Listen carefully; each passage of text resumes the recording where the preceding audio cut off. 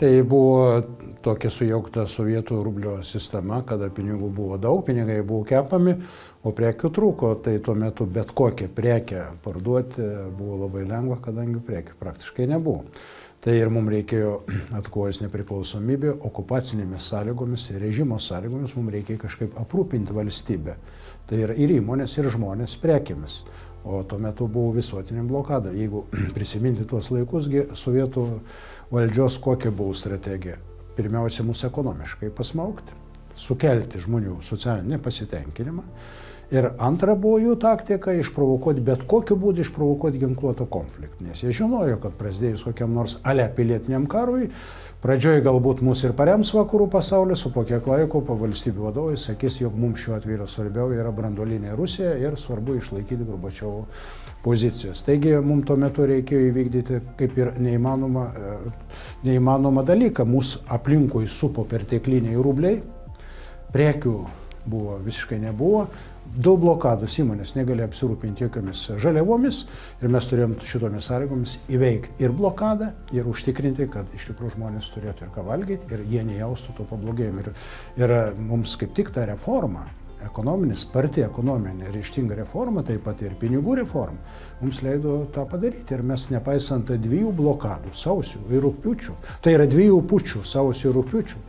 nuolatinės blokados, ne tik ekonominis, ne tik energetinis, bet pabaigoje buvo ir bankinė blokada. Galite įsivaizduoti, kas šiandien būtų, jeigu uždraustų bankam daryti tarptautinius pavedimus. Tikriausiai visi sugriūtų ir, ir sakytų neįmanoma. Tada ir tas buvo, nepaisant visų šitų sunkumų 91 metais, tai ir lemiamais metais, kada buvo nepriklausomybė gyvendinta.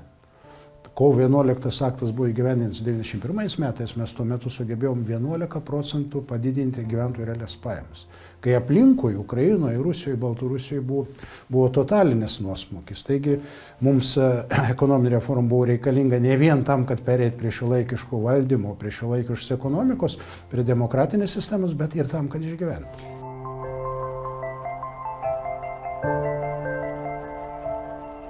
Mūsų svarbiausias tikslas buvo, kad žmonės nepajustų pablogėjimo, kad jie realiai galėtų nu, jaustis, e, jog turi pajamų ne mažiau negu iki tol. Nes tai buvo ne tik tai dėl lietu, lietuviškai kalbančių, bet ir kitataučių, kurie po to gal ir išvyko iš Lietuvos, bet tuo metu mums kėlė didžiausią pavojų. Tai šiaip visuomeniai, mes su visuomeniai ne tik įtikinom, bet ir parodėm, kad nepriklausomybė, kurią lydi ir ekonominė reforma, jiem gyvenimo neblogina. Aš tik pateiksiu pavyzdį.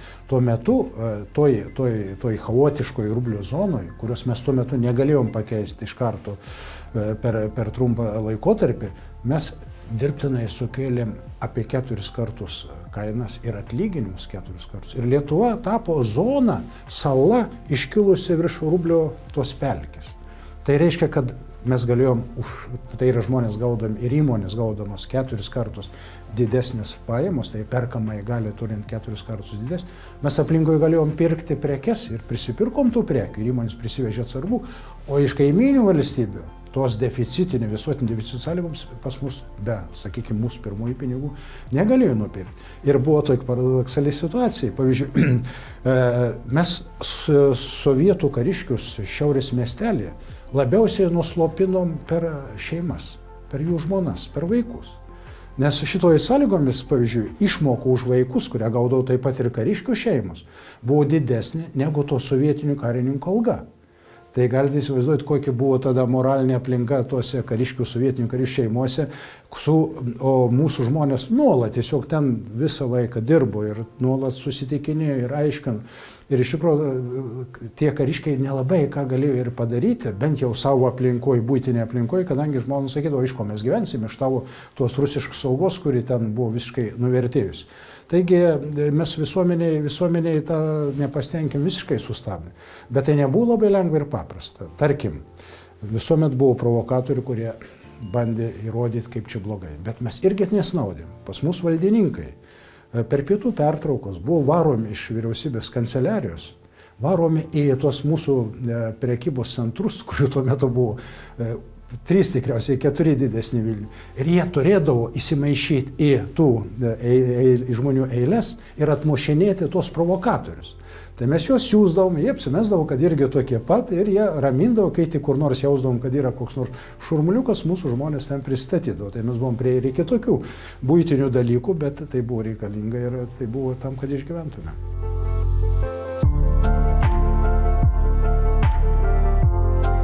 Pirkom tikriausiai tą patį, ką, yra, ką gamino sovietmečio laikotarpį. Aš tik atsimenu tokį kuriozą, kada e, tomis, ypač, man atrodo, dar 21 metų pirmoji pusėje, kada iš tikrųjų buvo dar, dar vis tiek buvo jaučiamas tas deficitas ir prekiai buvo alkoholis, butelis. Tai būdavo kaimuose už tą butelį irgi būdavo kaip mainų būdas, tai yra tokie antriniai pinigai, už kuriuos galima buvo nusamdyti traktoristą ir darbininką ir, ir visus kitus dalykus. Bet mes pradėjom gaminti daugiau to alkoholio ir vežti į, kaiminės valstybės, tai buvo irgi ekonomika valstybė. Bet trūko tų kamštukų. Tai vad galite įsivaizduoti, valstybė turėdavo spręsti problemą, kaip aprūpintais metaliniais kamštukais, kurių Lietuvoje tuo metu niekas negamino, jie buvo importuojami kažkur iš kažkokio Rusijos kamščių. Arba buvo vienu metu įvesta tokia, tokia nuostata, kadangi trūko ir stiklinės taros, kad galėdavo nusipirkti tas, kuris e, e, pristato tą, tą tuščią. Aš atsimenu, kažkada grįžau pas savo tėvus, vyresnio amžiaus tėvus, itališkus, ir žiūriu, nors nei mama, nei tėvus absoliučiai nevartojo jokio alkoholio. Žiūriu, visas kampas prisėtas degtinis buteliukų. Sakau, kam jums čia reikia? Nu kaip kam reikia? Sako, visi perko, kadangi, sako, yra parduoda, yra pristatai kažkokiu ten ar kamštų ar buteliukų ir mes prisipirkom. Tai, va, tai buvo tokie laikai, kartai žmonės pirkdavo ir to, ko visiškai nereikia. Aišku, atsirado tada ir, ir mėsos atsirado, nes e, mažiau, daugiau likdavo Lietuvoje, būdavo mažiau išvežama ir kiaušinių, ir pieno produktų, taip kad e, šiaip nebuvo jau taip sudėtinga. Iš tikrųjų, tais lemiamais 91 metais, dėka sparčios ekonominės reformos, dėka atpalaidavimo rinkos ir leidimo patiems įmonėms laisvai pirkti ir parduoti savo produkciją, ir ypač kai įvedėm tos pirmojus savo pinigus, mes leidom ne tik išgyventi, bet mes tuo būdu atkojom ir nepriklausomybę. Šiaip kovo 11 aktas tai buvo deklaracija, kuri buvo mūsų ketinimas išreikštas stiprią valią. Bet jį įgyveninti reikėjo. Ir tas faktinis įgyvenimas ir faktinė nepriklausomybė buvo pasiekta 91 metais. Pirmas, pirmas etapas buvo tai ir kai mes atlaikėm sausio pučio, iš tikrųjų nepriklausomybė tada iškojo Lietuvos žmonės, ne politikai, ne Seimas, ne parlamentarai. Tuo metu Lietuvos nepriklausomybė gynė tie, šimtai, tie dešimtai šimtai tūkstančių žmonių, kurie atėjo ir apkabinė, apsaugojo mūsų parlamentą. Ir galutinis mūsų, galutinė pergalė buvo po rūp, rūpiučio pučio, kada buvom pripažinti ir tada mes jau tapom laisvi, o šiaip gyvenom iki tol praktiškai okupacinius sąlygus.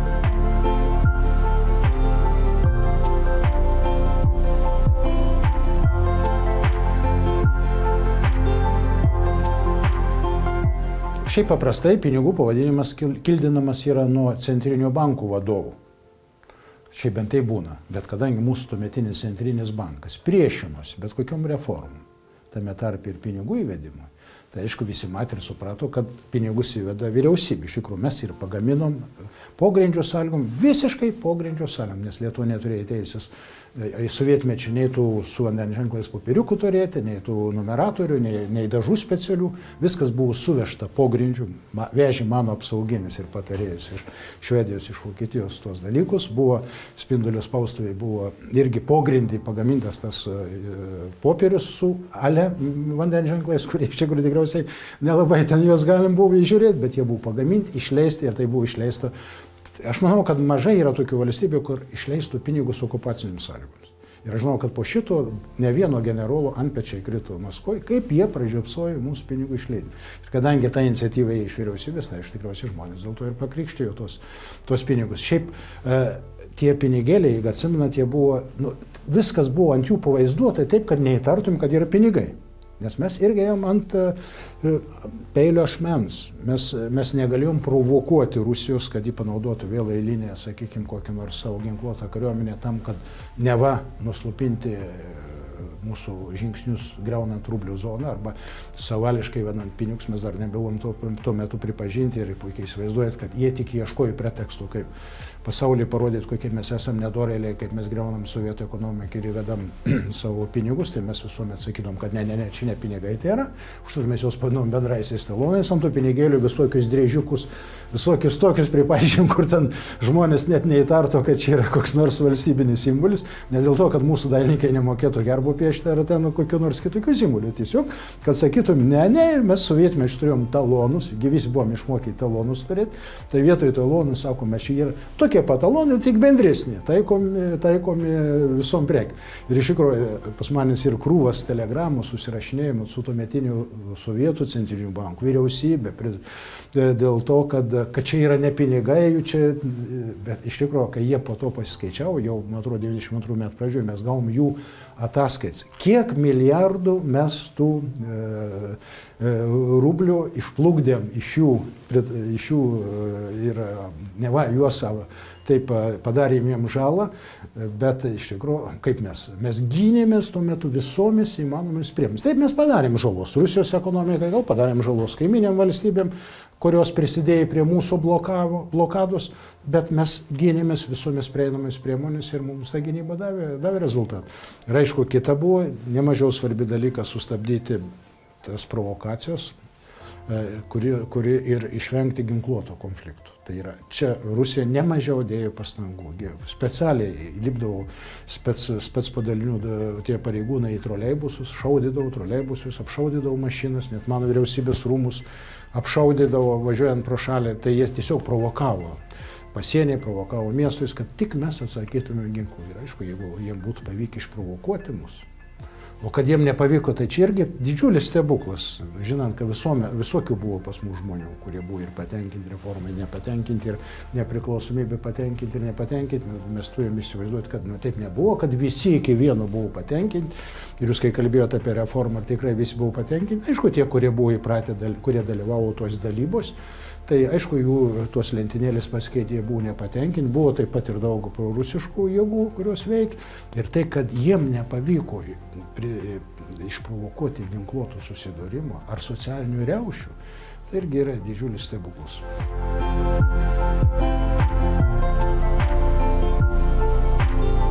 Kas prisimena istoriją, o ypač turėtų prisiminti Lietuvos ryto vyresnio amžiaus žurnalistai, kurie sekė Lietuvos spausdinimo tą bylą, iš tikrųjų viena gėdingiausių Lietuvos bylų ir mes tuos pinigus galėjome įsivesti Lietuvų žymiai anksčiau, jeigu jie būtų atspausdinti, bet jų spausdinimas buvo ankstesnės vyriausybės pateikėta pareigūnam, kurie teisme buvo irgi apkaltinti ryšiai su sovietų spets tarnybomis.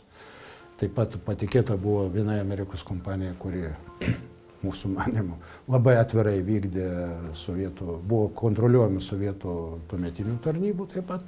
Tai jos buvo taip spausdinami, kad jų negalim buvo išleisti. Ir arba to vidurinių nebuvo nominalų, arba padaryta buvo vėluojant metams laiko. Tai tie litai turėjo būti išleisti normaliai 91 metų rudenį, bet jie atsirado tik tai žymiai vėliau, 93 metais. Tai ir dėl to, kad jie nebuvo atspausdinti. Ir, aš, ir mes ir bylas buvo užvestos, ir mes paskui išsireikalavom ir apmokėjimą, ir padėjo mums taip pat ir teisininkai, Amerikos teisininkai, ir prisidėjo ir, ir Amerikos valdžios pareigūnai, bet faktas buvo tai, kad jie nebuvo paruošti ir prie to, prie to neparuošimo labai daug prisidėjo tuometinis Lietuvos centrinis bankas, kuris ne visada buvo aišku, kam jis tarnauja Lietuvos pusėje. Nekalbu apie visus darbuotojus, bet apie tuos atsakingus pareigūnus ar jie Lietuvoje dirba, ar jie dirba Rusijos tarnyboms.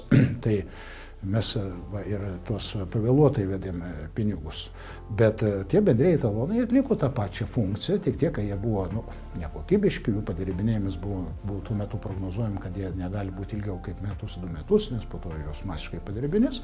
Tai atliko savo funkciją ir, ir ta perkamoji galia atitiko tuometinės infliacinės sąlygas. Aišku, ten jų nominalai buvo visai kitokie, bet šiaip skaičiuoti matyti reikėtų, ką galima buvo už vidutinį atlyginimą nusipirkti. Tai už vidutinį atlyginimą galima buvo jau statistiškai paskaičiuota, galėjo žmonės nusipirkti 10-11 procentų daugiau tas krepšelis, krepšelis nu, buvo didesnis negu, tarkim, iki, su, iki Lietuvos nepriklausomybės. Tai mums buvo labai svarbu. Jūs įsivaizduokite, jeigu 91 metais po visų blokadų Mes 91 metais turėjom pirmą nepriklausomą biudžetą savo, 90 mes neturėjom dar, tai prasidėjo nuo 91 metų. Tai mes, nepaisant visų blokadų, mes ne tik tai vykdėm biudžetą, bet ir turėjom perviršį. Ir metų pabaigoje nežinojom, kur, rublių, kur to, kaip tuos rublius išleisti, kaip juos racionaliai išleisti. Tai buvo, dabar jau galiu kalbėti, anksčiau aš to nesakydavau, už tuos rublius mes išpirkom už Rusijos rublius išpirkom būtus iš tų rusišk, rusiškai kalbančių šeimų, kurios norėjo išvažiuoti į Rusiją. Tai tuos pinigus, Rusijos pinigus išpirkom savo naudai tiem žmonėm, kurie norėjo trauktis į Rusiją. Aišku, jie vėliau norėjo grįžti, beveik visi norėjo grįžti, bet jau būtai buvo parduoti. Bet tai nebuvo prievartė, tiesiog norėjo parduoti, mes iš juos, juos išpirkom už Rusijos rublius.